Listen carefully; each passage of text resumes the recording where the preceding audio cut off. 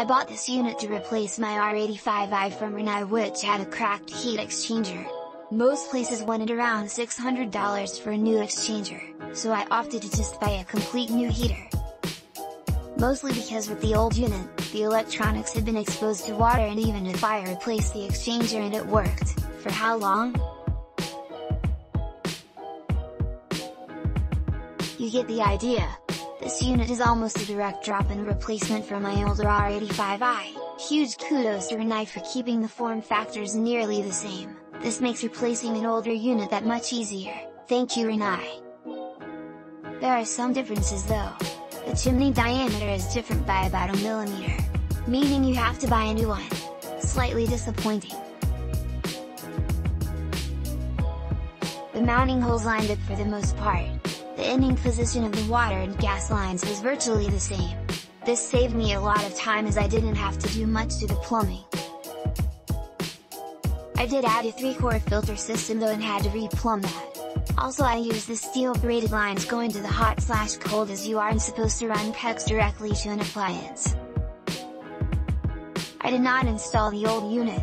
Overall very pleased. This unit is rated at 8. XGPM and my old unit was 9. XGPM. Can I tell the difference? No. This is a condensing unit though, it is much higher efficiency than the old unit. The old unit was something like 80%, this one is something like 95%, don't quote me, look it up. Because of this there is a condensing line you need to plumb. You have to do this, do not just cap it and let the water pool, it will flow into the electronics of the box and ruin it. I'm told if you want to go higher that 120F you need to buy a separate controller. Honestly not an issue for me. I've set it at 120F and forget it. My old unit was set at 115F. I can't tell the difference. Really, I can't think of a reason you would need slash 140F to add water anyway. YMMV. Here is a photo of my setup, incomplete, with my 3-core water filter. No, I did not install the gas line, some other boob did that. My understanding is that the flex gas line is only supposed to be used for the final 36 inches to an appliance, apparently the previous installer got that backwards? I am going to redo the gas line at some point.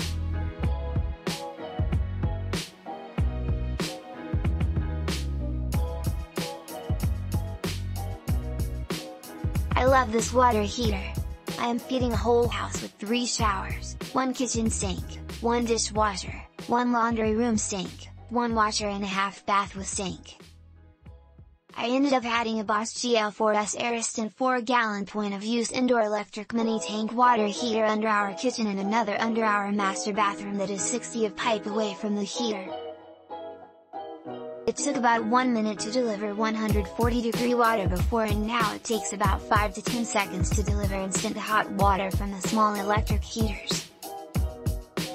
I removed our old 50 of half an inch gas line and replaced it with 3 quarters of an inch to provide the adequate amount of gas to support 199,000 BTUs.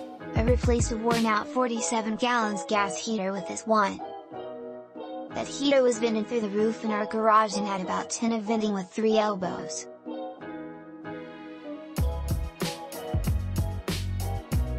Due to the high cost of the Rinnai concentric exhaust for my application, I chose to the Rinnai 223,188 12-inch universal concentric vent through the wall of our garage and that was cheaper and easy to punch through our brick wall. BTW, you will need a large, 3 quarters of an inch gas flex line and cannot use a 5 eighths of an inch one from Home Depot with excess flow valve. It will cut off when this heater cranks up. Click link in description for more reviews and best price.